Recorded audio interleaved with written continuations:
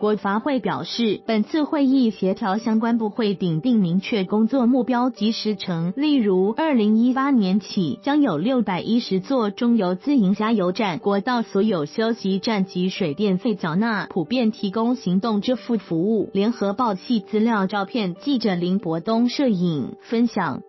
国家发展委员会主委陈美玲今日召开行动支付跨部会研商第一次会议，会中定定推动行动支付发展的三大主轴，包括完备基础环境、扩大应用场域、加强体验行销，并将医疗、水电及加油等民生攸关事项列为推动重点。明年起，医学中心、中油加油站、国道休息站等场所就可普遍使用行动支付。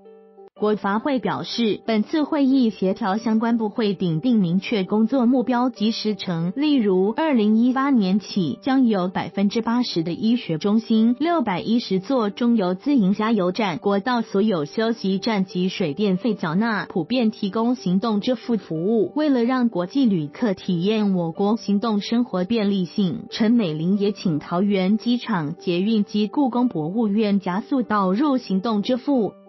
国发会表示，为扩大行动支付场域应用，将于民生消费、公共服务、交通运输、观光旅游等八项场域积极推动行动支付。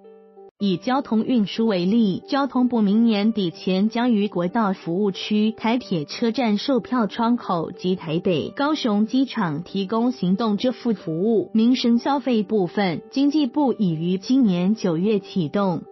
百货商店、连锁书店、超商、计程车队等实际体验工作，无论国内或国际支付服务均可使用。